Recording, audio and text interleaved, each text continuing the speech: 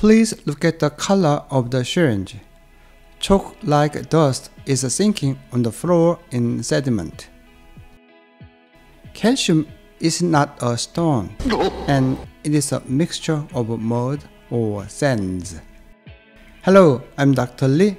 Welcome to Practical Pain Management.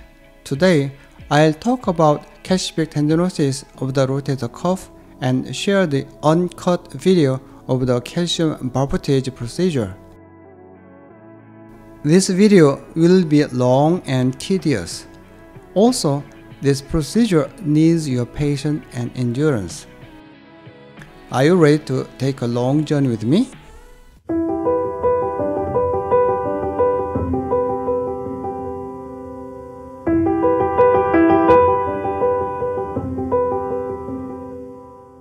Calcific tendinosis in the rotator cuff is caused by deposition of loosely bonded carbonate apatite crystals. Most calcium deposits remain in their silent stage, but sometimes they can produce severe pain.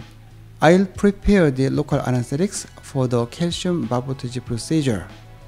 The first step is to identify the symptomatic calcification through ultrasound scanning. Conservative treatment can effectively relieve pain in most of the symptomatic calcification.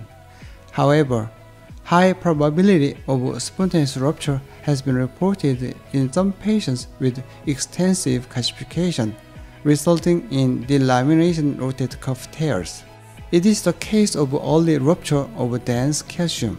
It looks well encapsulated, bigger than 1 cm in diameter but I can observe neighboring delamination and some spiculation suggesting early rupture. I would place the transducer along the long axis of the calcium cavity. Then, under the ultrasound guidance, infiltrate local anesthetics in the skin to the subdeltoid bursal space, and then wait to anesthetize the tissue. I will irrigate the calcium with 1% of lidocaine. Some doctors prefer warm saline, but I like to use local anesthetics because it has an additive effect, such as relieving the tendon pain. I prepare and fill 3 ml of lidocaine in each 5 ml syringe. I'll use a high concentration of dextrose with lipid steroids after barbotage process to relieve the inflammation and pain. I'll use an 18 gauge 1.5 inch needle for calcium barbotage.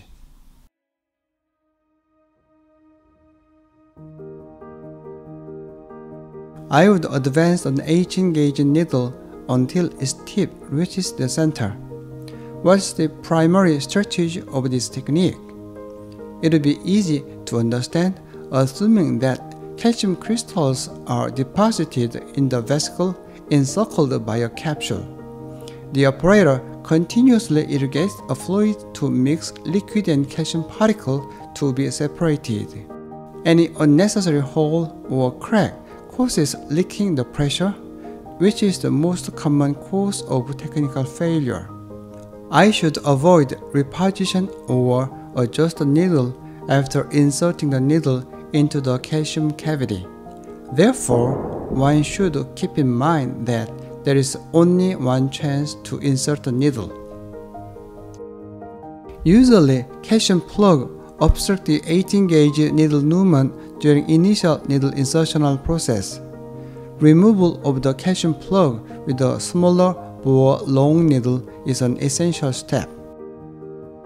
I have chosen a 6 cm long 25 gauge needle. This process removes the calcium plug obstructing the needle lumen.